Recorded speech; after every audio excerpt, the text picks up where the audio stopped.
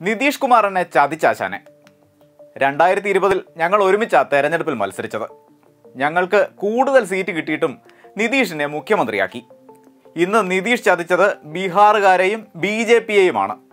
നോക്കിക്കോ ബീഹാർ നിതീഷിനോട് പൊറുക്കുകയല്ല ബി ജെ പി ബീഹാർ സംസ്ഥാന അധ്യക്ഷൻ സഞ്ജയ് ജയ്സ്വാൾ പാറ്റ്നയിൽ മാധ്യമപ്രവർത്തകരോട് പറഞ്ഞത് കോട്ടയം കുഞ്ഞച്ചൻ ശൈലിയിൽ ഇങ്ങനെ സംഗ്രഹിക്കാം.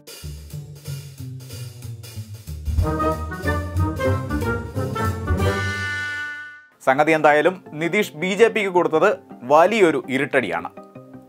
ബി ജെ പി വിരുദ്ധ മഹാസഖ്യമുണ്ടാക്കി അധിക നാളാകുന്നതിന് മുൻപ് കെട്ടുപൊട്ടിച്ച് ഇറങ്ങിപ്പോന്ന നിതീഷിനെ ബി ജെ പി കുടിച്ച വെള്ളത്തിൽ പോലും വിശ്വസിക്കരുതായിരുന്നു. അല്ലെങ്കിലും ബി ജെ പിക്ക് ഇത് വരണം. വെടക്കാക്കി തനിക്കാക്കുന്ന പരിപാടിയുമായി ബി ജെ പി കളിക്കാൻ ചെന്നത് ഉടായിപ്പിന്റെ പരകോടി കണ്ട നേതാവിന്റെ അടുത്തായിരുന്നുവെന്നത് മറക്കരുതായിരുന്നു. ഇനി ചരിത്രം ആവർത്തിക്കും. തേജസ്വി യാദവിനൊപ്പം ചേർന്ന് നിതീഷ് സർക്കാരുണ്ടാക്കും. മുഖ്യമന്ത്രിയായി നിതീഷ് കുമാർ തുടരും. തേജസ്വി ഉപമുഖ്യമന്ത്രിയാകും. ഇ ഡി വരും സി ബി ഐ വരും. അപ്പോൾ ആരെന്നും എന്തെന്നും ആർക്കറിയാം.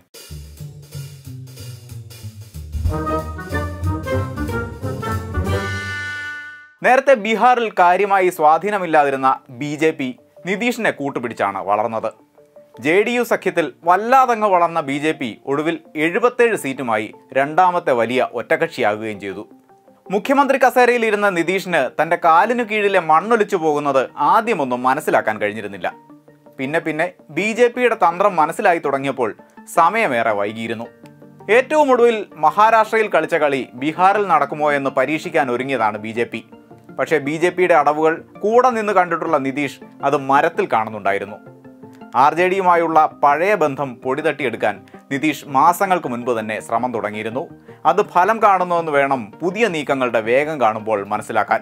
ആദ്യം രാജിവെക്കാൻ ഗവർണറെ കണ്ട നിതീഷ് അതിനുശേഷം തേജസ്വിയുമായി വീണ്ടും രാജ്ഭവനിലെത്തി സർക്കാർ രൂപീകരിക്കാൻ അവകാശവാദം ഉന്നയിച്ചിരിക്കുകയാണ്. കോൺഗ്രസും പുതിയ സഖ്യത്തിന്റെ ഭാഗമായേക്കുമെന്നാണ് കേൾക്കുന്നത്. ബി ജെ പിക്ക് അടുത്ത കാലത്ത് ലഭിക്കുന്ന ഏറ്റവും വലിയ പ്രഹരമായി മാറുകയാണ് ബീഹാർ. മുതിർന്ന നേതാവായ സുശീൽ കുമാർ മോദിയും കേന്ദ്രമന്ത്രി രവിശങ്കർ പ്രസാദുമൊക്കെ പട്നയിലേക്ക് പറന്നു കഴിഞ്ഞു. പതിനാറ് ലോക്സഭാംഗങ്ങളും അഞ്ച് രാജ്യസഭാംഗങ്ങളുമാണ് ജെ ഡി യുവിന് സ്വന്തമായുള്ളത്.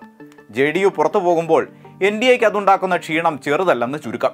നിതീഷിനിട്ട് പണി കൊടുക്കാൻ മോദിയും ജെ ഡി യുവിനെ പിളർത്തി ഇല്ലാതാക്കാനും നേതാക്കളെ ബി ജെ പി പാളയത്തിലെത്തിക്കാനുമായി അമിത്ഷായും പയറ്റിയ തന്ത്രങ്ങൾ വളരെ ഭംഗിയായി തിരിച്ചടിച്ചിരിക്കുകയാണ്. അതിന്റെ ഫലമായി ഉണ്ടാകുന്ന കരച്ചിലിന്റെ ശബ്ദമാണ് ജയ്സ്വാളിന്റെ പ്രസ്താവനയായി പുറത്തു വന്നത്. രോദനങ്ങൾ ഇനിയും ഉയർന്നേക്കും. നിതീഷ് ബീഹാറിലെ ജനങ്ങളെ ചതിച്ചതിന്റെ കഥകളുടെ പല വേർഷനുകൾ വരും ദിവസങ്ങളിൽ ഉയർന്നു വരും. ഒരു കാര്യം ഉറപ്പാണ്. ബീഹാർ മുഖ്യമന്ത്രി കസേരയിൽ നിതീഷ് ഇനിയും തുടരും. അതിപ്പോൾ ആരുടെയൊക്കെ പിന്തുണ സ്വീകരിച്ചിട്ടായാലും അദ്ദേഹം ആ സ്ഥാനം ആർക്കും വിട്ടുകൊടുക്കില്ല. മോദിയെ കണ്ണെടുത്താൽ കണ്ടുകൂടാത്ത നിതീഷ് എൻ ഡി എ സഖ്യത്തിൽ വളരെ കൂളായി ഇത്രയും വർഷം തുടർന്നില്ലേ? അതിലും ഈസിയായി ആർ ജെ ഡിക്കും കോൺഗ്രസിനുമൊപ്പം അദ്ദേഹം നിൽക്കും. പോർട്ട്ഫോളിയോ മാറാതെ തന്നെ. കൂടെ നിൽക്കുന്നവരെ കൂളായി തള്ളിപ്പറയാനും തൊട്ടടുത്ത നിമിഷം എതിർപക്ഷത്തിന്റെ തോളിൽ കൈയിട്ട് നിൽക്കാനും ചില്ലറ ഉളുപ്പൊന്നും പോരെന്ന് നിതീഷിന് നന്നായി അറിയാം. അതൊന്നും ഒരു വിഷയമേ അല്ലാത്ത അദ്ദേഹവുമായുള്ള കൂട്ടുകെട്ട് ആർ ജെ ഡിക്കും കോൺഗ്രസിനും ഇനി ഉണ്ടാക്കുക ഗുണമാണോ ദോഷമാണോ എന്ന് കണ്ടറിയേണ്ടിയിരിക്കുന്നു.